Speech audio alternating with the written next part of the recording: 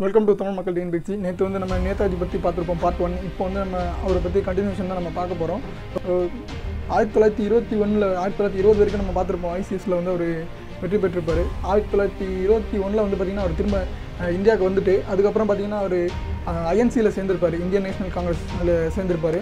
ஓகேவா? அப்போ தான் அவர் ஃபஸ்ட்டு ஃபஸ்ட்டு இந்தியன் நேஷனல் காங்கிரஸில் சேருவார். அதுக்கடுத்தது பார்த்திங்கன்னா ஆயிரத்தி தொள்ளாயிரத்தி இருபத்தி நாலில் பார்த்திங்கன்னா அவருக்கு வந்து சிஆர் தாஸோட சிஆர் தாஸ் சித்ராந்தல் தாஸ் நம்ம கேள்விப்பட்டிருப்போம். அவர் வந்து அவரும் ஒரு காங்கிரஸ் லீடர் தான்.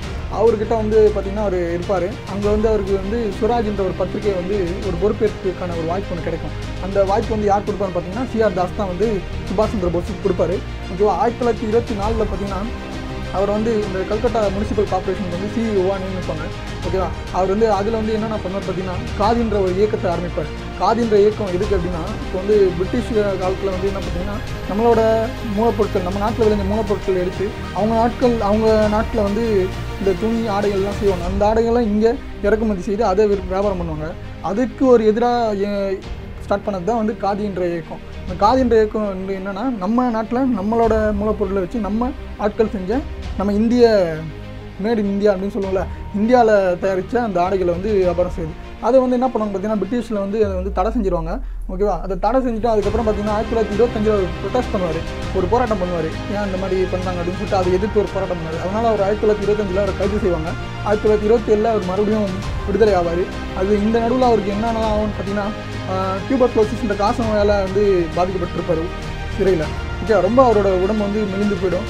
அதனால் என்ன பண்ணுவாங்க பார்த்தீங்கன்னா அவருக்கு ஒரு ஒரு சான்ஸ் ஒன்று கொடுப்பாங்க. என்னென்னு பார்த்தீங்கன்னா நீங்கள் வந்து இங்கே இருக்கக்கூடாது இந்தியாவில் நீங்கள் வந்து ஐரோப்பா போயிடணும் ஐரோப்பாவில் போயிட்டு அங்கேயே தான் இருக்கிறோம் இங்கே உங்களுக்கு ட்ரீட்மெண்ட்லாம் எடுப்பாங்க. நீங்கள் அங்கேயே இருக்கிறேன்னு சொன்னீங்கன்னா உங்களை விடுதலை செய்வோம் அப்படின்னு சொல்லுவாங்க. அங்கே ஆனால் அந்த வாய்ப்பு வந்து அவர் யூஸ் பண்ண மாட்டார். அதை மறுத்துருவார். அதுக்கப்புறம் அவர் பார்த்தீங்கன்னா ரொம்ப உடம்பு வந்து மோசமாகிட்டனால ஆங்கிலேயர் வந்து அவர் என்ன பண்ணுவாங்க ஸோ இப்படியே வச்சுருந்தா அவர் ஜெயிலில் இறந்துருவார். அதுக்கு இதுக்கு முன்னால் இது இந்த பீரியடில் பார்த்தீங்கன்னா வெளியெல்லாம் வந்து எப்போயே எப்பயோ பரவிட்டு இருக்கும் இந்த மாதிரி நே நேதாஜி வந்து ஜெயிலில் இறந்துட்டாரு. அவர் அங்கேயே கொண்டுட்டாங்க அப்படின்ற மாதிரி நிறைய வதந்திகள் போயிட்டுருக்கும் ஸோ அதனால் நிறைய வந்து கலவரங்கள் ஆக போகுதுன்னு சொல்லிட்டு அவர் என்ன பண்ணுவாங்க? அவர் வந்து விடுதலை செஞ்சுருவாங்க. அதுக்கப்புறம் இந்தியாவில் ஒரு ட்ரீட்மெண்ட் ஆகிட்டு ட்ரீட்மெண்ட்லாம் எடுத்துகிட்டு அதுக்கப்புறம் வந்து வருவார். வந்து அதுக்கப்புறம் பார்த்திங்கன்னா ஆயிரத்தி தொள்ளாயிரத்தி முப்பத்தி எட்டில் பார்த்தீங்கன்னா ஹரிபுரா மாநாடு ஒன்று நடந்திருக்கும். அவர் அப்போ தான் காங்கிரஸ் தலைவர் ஆவார். ஸோ அவர் அதுக்கப்புறம் வந்து ஆயிரத்தி தொள்ளாயிரத்தி முப்பத்தி ஒம்போதில் திரிபுரா மாநாட்டில் கலந்துருப்பார். திரிபுரான்ற ஊரில் ஒரு மாநாடு நடந்திருக்கும். அந்த மாநாட்டுக்கு தலைவராக அவர் தான் இருந்திருப்பார். ஆயிரத்தி தொள்ளாயிரத்தி முப்பத்தெட்டு முப்பத்தி ஒம்பது சமயத்தில் அவர் தான் வந்து காங்கிரஸ் தலைவர். ஓகேவா? ஆயிரத்தி தொள்ளாயிரத்தி முப்பத்தி ஒம்போதில் ஒரு தேர்தல் ஒன்று நடந்திருக்கும். அதில் பார்த்தீங்கன்னா நேதாஜிக்கு வந்து எதிராக வந்து காந்தி வந்து நிறைய பேரை திரட்டுவார். நேருவே கூப்பிடுவார். நீங்கள் வந்து நிற்கணும் நேதாஜிக்கு ஆப்போசிட் அப்படின்னு சொல்லிட்டு. ஆனால் அப்போது அந்த சமயத்தில் பார்த்தீங்கன்னா நேதாஜிக்கு தான் ஆதரவு இருக்கும். மக்கள் ஆதரவு. ஓகேவா?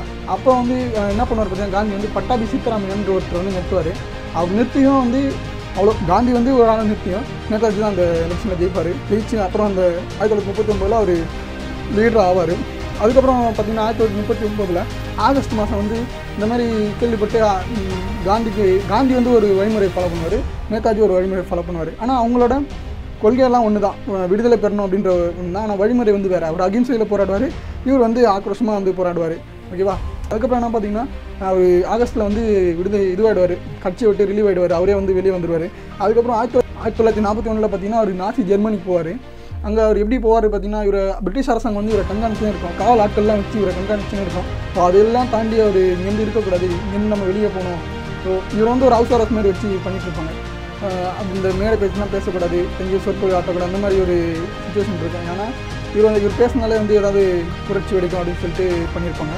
அப்போ வந்து ஆயிரத்தி தொள்ளாயிரத்தி நாற்பத்தி ஒன்றில் பார்த்தீங்கன்னா அவர் எப்படியா தப்பிச்சு போகணுன்றதுக்காக பைஜாமாலாம் போட்டு ஒரு முஸ்லீம் போல வேடமிட்டு தாடிலாம் ஒட்டிட்டு வந்து தப்பிச்சு போயிடுவார். பாகிஸ்தான் வழியாக போயிட்டோன்னே அங்கே வந்து அவர் ஹிட்லர்கிட்ட வந்து கால் வரும். ஜெர்மனிக்கு. ஜெர்மனி அங்கே போயிடுவார். ஜெர்மனியில் வந்து பெர்லின்ற நகரத்தில் இருப்பார். ஜெர்மனியோட தலைநகரம் பெர்லின். அந்த பெர்லினில் இருப்பார். அந்த பெர்லினில் வந்து இவர் என்ன பண்ணுவாருன்னா ஹிட்லர் கூட பேசுவார். ஹிட்லர் ஹிட்லர் கிட்ட வந்து இந்த இந்தியாவோட விடுதலை பற்றி பேசுவார். ஹிட்லரும் வந்து என்ன சொல்வார் பார்த்தீங்கன்னா இந்தியா விடுதலைக்கு நான் சப்போர்ட் பண்ணுறேன் அப்படின்ற மாதிரி பேசிப்பாங்க ரெண்டு பேர். அங்கேயே கொஞ்சம் வருஷம் இருப்பார். ஆசாத் இந்து வானொலி அப்படின்ற ஒரு வானொலியை வந்து அங்கேருந்து ஆரம்பிப்பார். அதன் மூலமாக நம்ம இந்திய நாட்டில் இருக்க மக்கள் கூட தொடர்பு கொள்வார். ஓகேவா? அதை பிரிட்டிஷ் எல்லாம் பிரிட்டிஷ் அரசாங்கத்துக்கும் இந்த விஷயம் தெரிஞ்சிருக்கும். இப்போ எல்லாரும் சைலண்டாக இருப்பாங்க. அதுக்கப்புறம் அங்கேருந்து பார்த்தீங்கன்னா ஆயிரத்தி தொள்ளாயிரத்தி நாற்பத்தி ரெண்டில் பர்மா போவார். ஆயிரத்தி தொள்ளாயிரத்தி நாற்பத்தி மூணில் சிங்கப்பூர் போவார். ஆயிரத்தி தொள்ளாயிரத்தி நாற்பத்தி மூணில் சிங்கப்பூர் போயிட்டு அங்கே வந்து ஐஎன்ஏ அப்படின்ற ஒரு இது ஃபார்ம் பண்ணுவார். விடுதலை கழக கட்சின்னு ஒன்று இருக்கும் அங்கே. அங்கே வந்து ராஸ் பிகாரி கோஸ்ன்ற ஒருத்தர் தலைவர் இருப்பார். அவர் வந்து என்ன பண்ணுவார் பார்த்தீங்கன்னா அந்த பொறுப்பை வந்து சுபாஷ் சந்திர போஸ் கிட்ட விடுவார். அவர் என்ன பண்ணுவார்? ஐஎன்ஏ இந்திய நேஷனல் ஆர்மி அப்படின்ட்டு சொல்லிட்டு இந்திய தேசிய ராணுவம் அப்படின்னு சொல்லிட்டு ஆரம்பிப்பார் அந்த இது பிரிட்டிஷ் அரசாங்கத்துக்கு எதிரான நிறைய பேரை வந்து திரட்டுவார். நிறைய பேரை திருட்டி அதில் வந்து ஒரு பயிற்சி கொடுப்பாரு. அதுலேருந்து ஒரு நாற்பத்தஞ்சு பேரை வந்து செலக்ட் பண்ணி ஜப்பானுக்கு அனுப்புவார். இம்பீரியல் மிலிட்ரி அகாடமின்னு சொல்லிட்டு நம்ம தமிழ் புக்கிலலாம் போட்டிருக்கோம். ஸோ அவர் அந்த மிலிட்ரி அகாடமிக்கு அனுப்பி அங்கே பயிற்சி பெற்று வான்வழி தாக்குதலுக்காக அந்த நாற்பத்தஞ்சு பேர் அனுப்புவார்.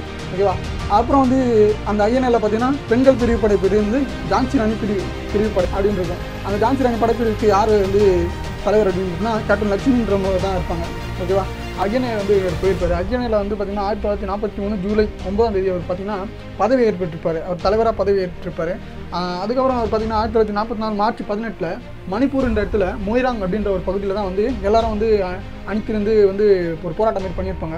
தேசிய கொடியும் ஏற்றிருப்பாங்க அந்த போராட்டத்தில் பார்த்தீங்கன்னா ஒரு லட்சத்திற்கும் மேற்பட்டு இருப்பாங்க. அந்த ஒரு லட்சத்தில் ஜப்பானியர் அப்புறம் பர்மா இந்த சிங்கப்பூர் அந்த ஆளுங்க அவங்க எல்லாம் இருப்பாங்க. இந்த பிரிட்டிஷுக்கு அரசாங்கத்துக்கு எதிரான இருப்பாங்களா சில பேர் போர்க்கைதிங்க எல்லாரையும் வந்து ஒன்று திரட்டி எல்லாரையும் வந்து அந்த படைப்பிரிவில் இவங்க ஐஎன்ஏ படைப்பிரிவு எல்லாம் வந்து அங்கே ஒன்று திரட்டி அந்த இடத்துல வந்து ஒரு சண்டை நடக்கும். அதாவது ஆங்கிலேயருக்கும் வந்து இந்திய ராணுவத்துக்கும் சண்டை நடக்கும். ஆங்கிலேயர் வந்து பார்த்தீங்கன்னா அமெரிக்க படையினர் தான் சேர்த்துப்பாங்க இந்திய ராணுவத்தில் பார்த்தீங்கன்னா இவங்க ஜப்பானியர் எல்லாம் எல்லா நாட்டுகளும் இருப்பாங்க.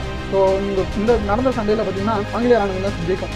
அமெரிக்கா ஆங்கில ராணுவம் தான் அந்த ஆங்கிலேய ராணுவம் தான் வந்து ஜெயிக்கும். ஸோ ஆங்கில ராணுவம் வந்து அந்த ஒரு லட்சம் பேரையும் இன்னைக்கு வந்து கொண்டுருவாங்க ஸோ எல்லாரையும் வந்து கொண்டுருவாங்க அன்னைக்கு அதுக்கப்புறம் அவர் பார்த்தீங்கன்னா ஆயிரத்தி தொள்ளாயிரத்தி நாற்பத்தஞ்சு பதினெட்டு ஆகஸ்ட் பதினெட்டு ஆகஸ்ட்டில் வந்து என்ன ஆகும் பார்த்தீங்கன்னா அவர் இறந்ததாக சொல்லப்படுற நாள் இது வந்து சில இடத்துல பார்த்தீங்கன்னா அவர் வந்து பர்மா காடுகளில் தங்கி வந்து மரமுகமாக வாழ்ந்து வந்தார் அப்படின்னு சொல்கிறாங்க சில இடத்துல பார்த்தீங்கன்னா அவர் தப்பிச்சு போகும்போது ஒரு இடத்துல விமான விபத்தில் வந்து இறந்துட்டார். தைவான்ன்ற பகுதியில் இறந்துட்டார் அப்படின்னு சொல்கிறாங்க ஆனால் வந்து அந்த தைவான் நாட்டு அரசாங்கம் என்ன சொல்லியிருக்குன்னு பார்த்தீங்கன்னா இந்த டேட்லேருந்து ஒரு அடுத்த பத்து நாள் கழிச்சு எந்த ஒரு விமான விபத்தும் அங்கே நடந்த ஒரு தடையும் கூட இல்லை அப்படின்ற மாதிரி சொல்லியிருப்பாங்க. ஸோ அதனால் வந்து அவர் கண்டிப்பாக அங்கேயோ ஒரு காட்டில் தான் வந்து இருந்து ஒரு மறைமுகமாக இருந்து அங்கேருந்து தான் அவர் இறந்துருக்கணும் அப்படின்ற மாதிரி தான் இருக்குது அவர் இற எங்கே இறந்தார்? அவர் உடல் எங்கேயும் கிடைக்கல.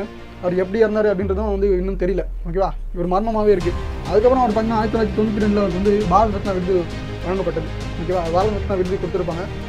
இதுக்கப்புறம் என்னென்னு பார்த்தீங்கன்னா இந்த ஆயிரத்தி தொள்ளாயிரத்தி நாற்பத்தஞ்சு ஆயிரத்தி தொள்ளாயிரத்தி நாற்பத்தி நாலு ஆயிரத்தி தொள்ளாயிரத்தி நாற்பத்தி மூணு அந்த சமயத்தில் வந்து பார்த்திங்கன்னா ஒரு பதினெட்டு இளைஞர்களை வந்து ஆங்கிலேய அரசாங்கம் வந்து தூக்கில் போட்டிருப்பாங்க. ஓகேவா? அந்த பதினெட்டு இளைஞர்களும் அகைன் பெரிய அகைன் அந்த படைப்பிரிவை சார்ந்தவங்க. இந்திய ராணுவத்தினர். ஓகேவா? அவங்க வந்து அதில் வந்து ஒரு குறிப்பிட்ட ரெண்டு பேர் சிலர் பற்றி நம்ம தமிழ் புக்கில் கொடுத்துருப்பாங்க. ஒருத்தர் வந்து பார்த்திங்கன்னா ராம் அப்படின்னு சொல்லிட்டு ஒருத்தர் இன்னொருத்தர் வந்து அப்துல் காதர் அப்படின்ற ஒருத்தர். அவர் வந்து தூக்கில் போட்டதுக்கு முன்னாடி ராம் என்ன சொல்லுவார்னா நான் உயிர் கொடுக்கறதுக்கு என் உயிரை வந்து நான் கொடுக்கறதுக்கு எதுக்கு நான் பயப்படல. ஓகேவா? நான் கடலுக்கு எதிராக எந்த ஒரு திங்கம் செய்யலை அப்படின்ட்டு சொல்லியிருப்பாரு. அப்துல் காதர் அப்படின்றது என்ன சொல்லியிருப்பாருன்னா வாழ்வின் பொருள் தெரிந்தால்தான் மனிதன் உயர்நிலை மேல்நிலை அடைவான். நாட்டுக்காக உயிர் தியாகம் செய்த முழு நிலவை போல உள்ளவர்கள் முன் நாங்கள் வெறும் மெழுகுவர்த்தி தான் அப்படின்ட்டு சொல்லியிருப்பாரு.